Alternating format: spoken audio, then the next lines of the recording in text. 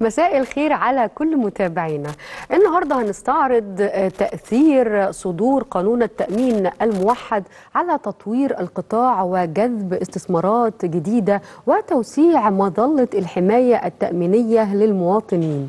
كمان هنناقش خطة الحكومة لبناء الإنسان المصري وتطوير ملفات الصحة والتعليم واستكمال مسار الإصلاح الاقتصادي وده بيجي بعد تغيير وزاري موسع استهدف تطوير الأداء وضخ دماء جديدة. ودلوقتي هنناقش فرص نمو قطاع التأمين بعد صدور قانون التأمين الموحد واللي سمح لأول مرة بتأسيس شركات تأمين طبي متخصصة وكمان تأسيس شركات تأمين متناهي الصغر. بجانب عدد كبير من التأمينات الإجبارية هيكلمنا أكتر عن الموضوع ده دكتور خيري عبد القادر خبير التأمين الاستشاري. أهلا وسهلا بحضرتك يا دكتور خيري أهلا وسهلا بسعادتك فندم. عايز أعرف من حضرتك في البداية رأي حضرتك في قانون التأمين الجديد.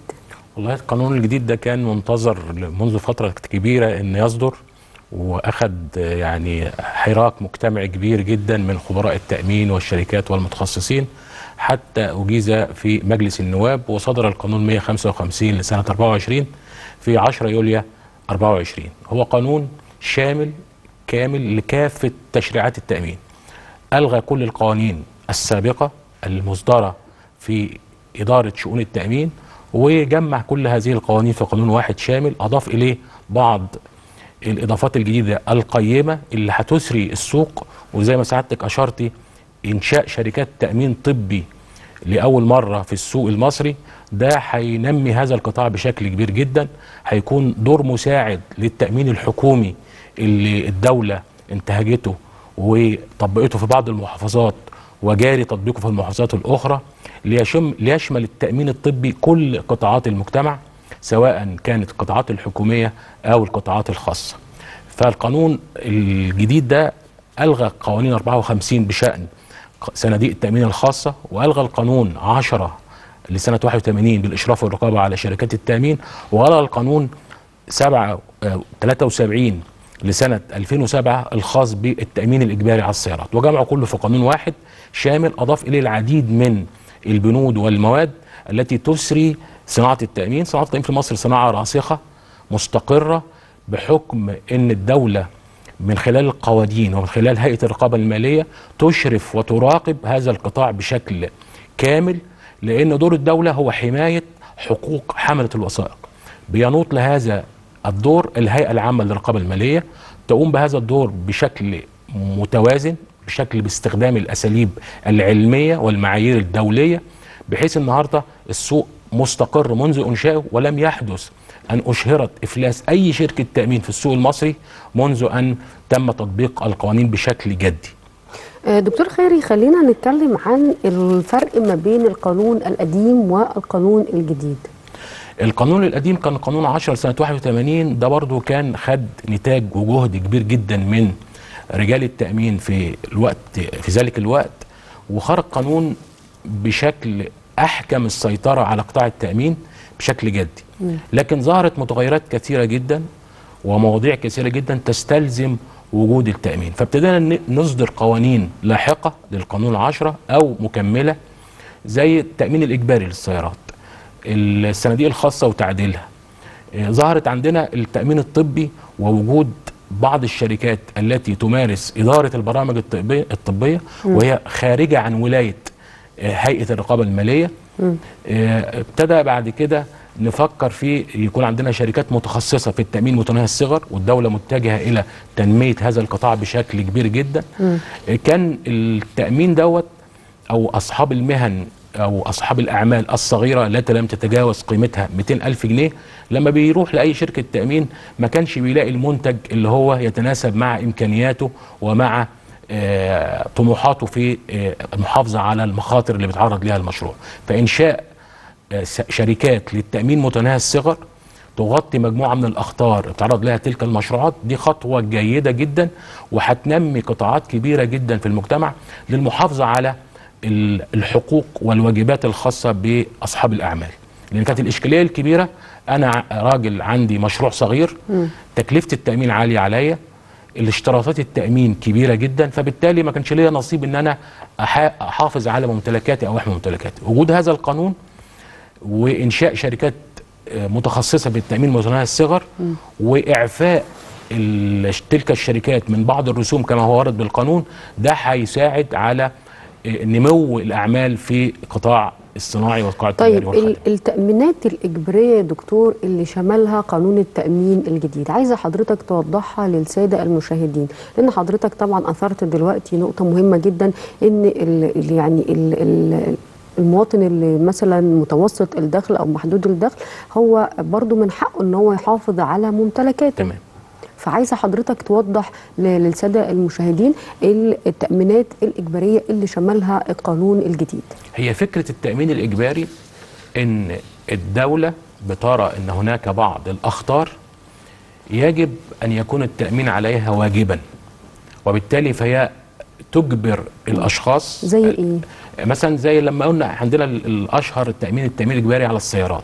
التأمين الإجباري على السيارات هو تأمين المسؤولية المدنية لأصحاب السيارات تجاه من يتعرضون لأي خطر من استخدام السيارة. هذا هذا النوع من التأمين لو إحنا تركناه اختياري محدش هيقبل عليه. ولكن الدولة سنت قانون للتأمين الإجباري على السيارات. وده الناس غالبية الناس بتدفع التأمين على كل سيارة وهو قد لا يكون مدرك م- ماهية التأمين. التأمين ده بيغطي المسؤولية المدنية تجاه الغير. تجاه الغير يعني مين؟ يعني الغير ده هو من يحصل لحادث تصادم أو إتلاف ممتلكاته بسيارة من هم داخل السيارة من غير أهلية المؤمن له صاحب السيارة كل دول يعتبروا غير. طب إذا حصل أي أضرار القانون السابق قبل التعديل للقانون في الفترة الأخرانية كان بيمنح إن كل مضرور أو متضرر من إصابة سيارة يلجأ إلى المحاكم.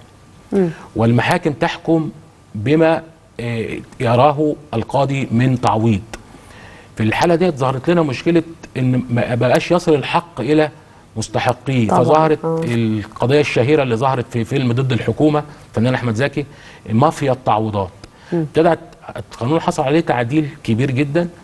قال إن كل مضرور سواء حصلت حالة وفاة أو عجز كلي أو إصابة بيحصل من شركة التأمين على تعويض مقطوع 40 ألف جنيه في حالة الوفاة وفي حالة العجز الكلي ونسبة طبقا لنسبة العجز الذي أصابه. يصرف فورا بمجرد تقديم شهادة الوفاة محضر الشرطة قرار النيابة إعلام وراثة يصرف فورا. مبلغ التعويض اللي كان 40 ألف في القانون القديم ثم أصبح 100 ألف في القانون الجديد. والله هي دي نقلة يعني هنقول إيه نقلة جيدة إن كان المبلغ ال 40 ألف عندما يعني تم تحديده في القانون القديم كان يناسب جبر الضرر بعض الشيء أو يمكن الأسرة إنها يعني تجبر ضررها وتلجأ إلى البحث عن مستحقات دون ضغوط من آخرين.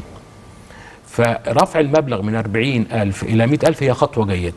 ولكن ما زال برضو المبلغ هل هل هي كافية يا دكتور؟ لا طبعا. مبلغ ال ألف النهارده ما حاجة. يعني لو إحنا قارناها بقبل تو قبل كده لو جينا ال 40000 كانوا يمثلوا كام دولار والنهارده ال 100000 يمثلوا كام دولار هنلاقي إن المبلغ انخفض ما زادش. لكن ده برضو حسبة اكتوارية إن حجم ال- الأقساط المحصلة حجم التعويضات المتوقعة فبالتالي بيتحدد بناء عليها القسط بيتحدد عليها مبلغ التأمين. يعني دايما كل التأمين مبني على حسبة اكتوارية بمعدلات الخسارة. دكتور آه، خيري خلينا آه، يعني نتكلم كمان عن آه، التأمين متناهي الصغر. والحقيقة دي خطوة يعني جيدة جدا. وأهمية القانون يعني القانون الجديد جاء في أهمية تأسيس شركات متناهية الصغر.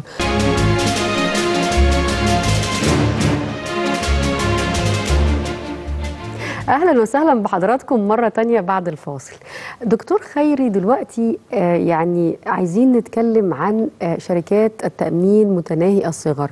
يمكن آه، القانون الجديد جاء في آه، 30 مليون جنيه رأس مال شركات متناهية الصغر للتي بي اي 15 مليون جنيه للتأمين الطبي المتخصصة 60 مليون جنيه الوساطة بقت 5 مليون بدل 2 مليون. حضرتك شايف إن رؤوس رؤوس الأموال دي كافية ولا شايف إن لازم يحصل اندماجات واستحواذات بعد رفع الحد الأدنى لرؤوس أموال الشركات شركات التأمين؟ طبعا هو لما القانون بي- بيرسم في مواده آه، تحديد آه، رأس المال بما لا يقل ده لا يمنع إن أي شركة تأمين عندها ملاءة مالية أو أي مستثمر عنده ملاءة مالية أن يزيد من رأس مال وان رأس المال هو ال- الوسادة اللي بتمتص أي صدمات قد تتعرض لها الشركة أثناء مزاولة نشاطها. كلما كان رأس المال كبير كلما أد آه يعني بين ذلك أن هناك ملاءة مالية للشركة في إدارة آه محفظتها التأمينية. القانون لما جه بي- بيحدد طبعا لا لا يعني حتى يشجع إنشاء مثل هذه الشركات. خلينا نوضح برضو ان ان أصبح 250 مليون جنيه ده شركات للشركات- التأمين للشركات العاملة في التأمين. مجال الممتلكات أو تأمينات الحياة. آه، برضو كلما آه، زادت رؤوس الأموال طبعا في شركات تجاوزت رأس مالها المليارات. ورغم إن القانون محدد مثلا 200 مليون أو 250 لأن الشركة كلما توسعت في أعمالها ومحافظها كلما دعمت راس مالها حتى يواكب ذلك لايه التطور في نمو أعمالها. فالقانون بي- بيحد حد أدنى لرأس المال فلما وضع 30 مليون جنيه للشركات متناهية الصغر الصغر ده علشان يكون عندها قدرة على ممارسة نشاطها بشكل كفء. لكن لا يمنع إن يكون أي مستثمر هينشئ شركة تأمين ويخلي رأس المال 300 مليون بدل 30 مليون. يبقى ملاءته المالية أقوى قدرته على التوسع في السوق وفتح فروع أكتر أقوى ده يعني بس القانون بيحط حد أدنى لرأس المال. لما حط الحد الأدنى لشركات التأمين الطبي 60 مليون هو برضو راعى إن الشركات ديت هتشتغل في فرع واحد من التأمين. قد يكون عدد فروعها في البداية آه، غير ليس بالكثرة. لكن الشركات دي ممكن تنمي رأس مالها وتبدأ برأس مال أكبر من كده. لكن القانون بيحط دايما الحد الأدنى. فيما يخص شركات إدارة البرامج الطبية دي برضو إضافة جديدة للقانون. آه، كان الشركات دي تح... تخرج عن ولاية هيئة الرقابة المالية. تمارس آه، آه، أعمال إدارة المحافظ الطبية للعملاء وهي كانت همزة وصل أو وسيط ما بين الشركات وبين مقدمي الخدمات من المستشفيات والجهات المتخصصة. النهارده القانون ألزمها إنها تكون شركة مساهمة. إنها تكون تحت ولاية الهيئة من تأسيسها ومن تراخيصها ومن ممارسة أعمالها ومن الرقابة عليها. ده هيدعم السوق. والحاجة الوحيدة اللي القانون المصري أو السوق المصري يعني يفتخر بها إن كل من يعمل في مجال التأمين هو تحت طائلة يعني تحت مظلة القانون وتحت رقابة هيئة الرقابة المالية. وهيئة الرقابة المالية من أهدافها الأساسية هي حماية حماية الحقوق سواء حماية حقوق حامله الوثائق أو حماية حقوق الشركات وال- والمساهمين فيها. ال- الأدوات الرقابية اللي بتقوم بها الهيئة هي المعيار اللي بيحكم هذا السوق وبالتالي السوق بتاعنا سوق مستقر القوانين بتاعتنا قوانين رائدة. يعني أنا مع كنت في رساله الدكتوراه عامل مقارنة بين 17 قانون في إدارة التأمين أو مراقبة التأمين. كان القانون المصري قانون متميز ووجدت إن العديد من الدول العربية بتاخد القانون المصري كمثال ليها. إن لم يكن تيبيكال من الايه من المواد المستخدمة. فرأس المال هو الوسادة. كلما كان رأس المال قوي أكبر كلما كانت الشركة ملاءتها المالية أقوى.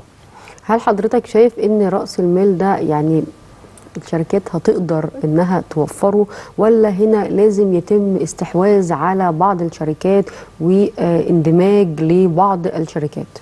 والله هو راس رأس المال ال- الموجود حتى في القانون هو مبالغ يمكن لأي مستثمر جيد جاد يريد إنه يخش في صناعة التأمين إنه يوفره. يعني ال- ال- زيادة حتى رؤوس الأموال كل كل شركة قائمة دلوقتي في كل سنة بتبدأ تعمل تدعيم لرأس مالها. فبالتالي رأس المال بالمبالغ الموجودة دي هي مبالغ متواضعة وليست كبيرة. ولكن الحد الأدنى اللي حطاه اللي وضعه القانون لدخول الأفراد اللي هم عندهم قدرة على ممارسة النشاط. يعني أنا لو قلنا رأس المال 100000 هي- هنع- عندنا 10000 شركة. طب 10000 شركة اللي هيقدروا يوفوا التزامات الناس ولا أنا أختار يعني قدرات مالية تسمح إن السوق يستقر ونحافظ على أموال الناس؟ لأن فلوس التأمين هي مش فلوس شركات التأمين. فلوس التأمين هي أموال حملة الوثائق. كل من يحمل وثيقة هو صاحب هذا المال. وبالتالي أموال حملة الوثائق بتبقى في معزل حتى في القوائم المالية عن آه، حقوق المساهمين اللي هي رأس المال. والهيئة العامة للرقابه المالية تراقب مدى توافر هذه الايه الالتزامات الخاصة بحقوق حملة الوثائق. فبالتالي دائما وابدا هيبقى ال- ال- السوق مستقر في طمأنينة لكل من يحمل وثيقة تأمين إن هو هيحصل على حقه عندما يتحقق الخطر اللي هو مأمن منه. دكتور خيري حضرتك ك يعني دكتور متخصص في التأمين عايزة حضرتك تكلمني عن يعني ما يحتاجه القانون الجديد اللي لسه مازال قطاع التأمين محتاجه؟ والله القانون يعني بالط- بالط- القانون لسه صادر يوم 10 يوليو. السيد رئيس آه، الجمهورية وقع القانون 10 يوليو ونشر في الجريدة الرسمية. ولسه لأن مواده كثيرة جدا فلسه ما زال في في مرحلة الاستكشافه يعني. لكن هو لما ضم كل القوانين المتعلقة بقطاع التأمين فهنا وحدنا التشريع الخاص بهذه الصناعة. وده هيدعم الصناعة بشكل جيد. إيه، القانون كمان في ساب في كل مادة أو في بعض المواد الحرية لهيئة الرقابة المالية عندما ترى متغير أن تقوم باصلاح هذا المتغير. يعني مثلا لما نيجي نتكلم على التأمين متناهي الصغر هو القانون قال بما لا يتجاوز 200 ألف جنيه قيمة ال ال الأصول المؤمن عليها حتى يندرج تحت تأمين متناهي الصغر. لكن ترك للهيئة إداها الحق إنها تعيد النظر في هذا السقف اللي هو ال 200 ألف جنيه في كل سنة. وي- ويزيد هذا السقف بنسبة 25% بما لا يتجاوز 25% سنويا. فإذا الهيئة رأت بعد سنة واثنين وثلاثه إن ال 200 ألف جنيه أصبح مبلغ زهيد إنها تقدر ترفع هذا المبلغ. اننا ب- في تضخم وفي في, في طبعا في تغيير تضخم. وهو هو ال- الفكرة إنه لما قال 200 ألف جنيه هو عايز الصناعات الكثيرة جدا. الشباب اللي هو فاتح محل صغير زي ما إحنا شفنا مثلا في الحادثة بتاعه آه، بني سويف والمنيا السوق التجاري الخاص بالشباب لما أحرق. ما بقاش عندهم قدرة هو فقد راس ماله بالكامل. وما, وما كانش يقدر يروح يعمل تأمين فيدفع نسبة كبيرة جدا من إيراده لوثيقة التأمين. فالحل ال- الدولة اوجدته في وجود شركة متخصصة في التأمين متناهي الصغر تتعامل معهم. حتى التأمين المتناهي الصغر في حتة جميلة جدا إن ان القانون عافى كل من يحمل وثيقة تامين متناهي الصغر من الرسوم المقررة في القانون في المادة 208 ده برضو معناه إيه؟ معناه إنه بيخفف عن كاهل المؤمن له اللي هو صاحب المهنة أو صاحب الصنعة أو صاحب الورشة من المصاريف الكثيرة اللي هي مفروضة في التأمين التجاري. محتاجة حضرتك تشرح لي النقطة دي أكتر. يعني النهارده لما أجي أقول إن أنا باخد رسوم إشراف وباخد دمغة نسبية وباخد مصاريف إصدار كل دي نسبة من قسط التأمين. فلما أنا اعفيه من بعض هذه الرسوم يبقى أنا بخفف عليه قسط التأمين. لما أجي اعمل له تأمينات متخصصة باشتراطات خاصة يبقى أنا برضو بشجعه إن هو يق... يعني شخص عنده آه، مشروع ب ألف جنيه. ال ألف جنيه لما يروح يشتري وثيقة تأمين من شركة تأمين تجاري وفي نفس الإدارة اللي بتصدر وثيقة ب 2 مليار جنيه مبلغ رأس مال أو 6 مليار جنيه هيبقى الراجل ده يعني وزنه النسبي بالنسبة لشركة التامين حتى ضعيف. لكن لما يبقى هو موجود في شركة متخصصة. الأقصى 200 ألف جنيه أقصى حد ممكن وأنا ب 100 ألف جنيه يبقى أنا في في موضع يعني جيد في مع شركة تامين هتقدم لي خدمات جيدة والشركات هتراعي إنها تنزل إلى الأماكن المستحقة لهذا النوع من التأمين. آه، شايف إن حضرتك ده آه، هيزود الوعي التأميني هو الوعي التأميني هي يعني عايز أقول إيه هي ثقافة ثقافة مجتمع. إيه أنا النهاردة لما أنا هكلمك بصفة شخصية أنا مأمن على كل شيء أمتلكه مأمن على بيتي مأمن على شركتي ومكتبي مأمن على موظفيني. أيوه لأن حضرتك أستاذ تأمين. إيه، هقول لسعادتك حاجة ما هو برضو في أساتذة التأمين ما خدوش نفس هذا النهج. ال- الوعي التأمين هو إحساس بالخطر. يعني أنا كل ما أحس بالخطر يبقى أنا بدور على وسيلة لإدارة هذا الخطر. التأمين طبقا اللي إحنا ما تعلمناه هو أحد سياسات إدارة الخطر. هي سياسة نقل الخطر إلى شركة متخصصة أكثر مني دراية عندها أكبر عدد ممكن من الأشخاص المعرضين لنفس الخطر وبالتالي هو بيوزع المخاطر فيبقى التكلفة بتاعت التأمين قليلة. فالتأمين هو سياسة نقل الخطر.